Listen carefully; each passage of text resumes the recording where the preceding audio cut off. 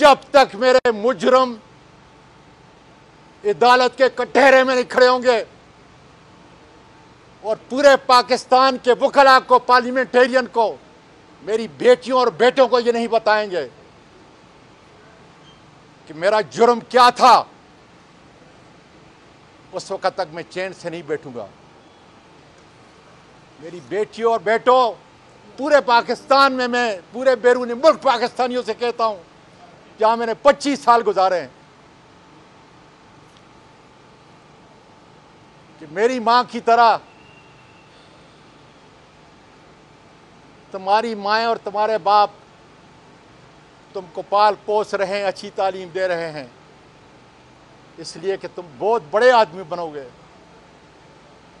बेटी हो या बेटा, और मैं तो बहुत बड़ा आदमी बन गया। मैंने अमेरिका में झाड़ू से शुरू किया और एंटरप्रेन्योर बना।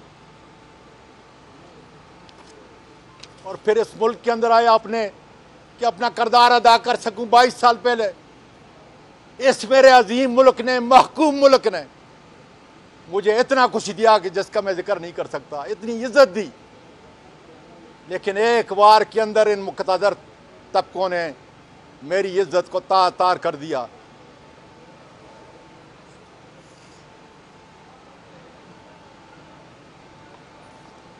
मैं वहाँ कमाता हूँ, मेरे मीडिया के दोस्तों। इस मुल्क के अंदर पैसे लेके आता हूँ।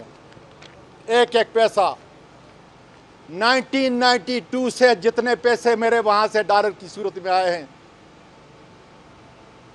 एक एक पर्ची जो है मुझसे गुमी हुई नहीं। एक एक पर्ची मेरे पास मौजूद है कि कितने मिलियन डॉलर मैंने इस मुल्क के अंदर लाए हैं। गरीबों की। बेवाओं की। अल्लाह का शुक्र अदा करता हूँ यतीमों की कफालत है।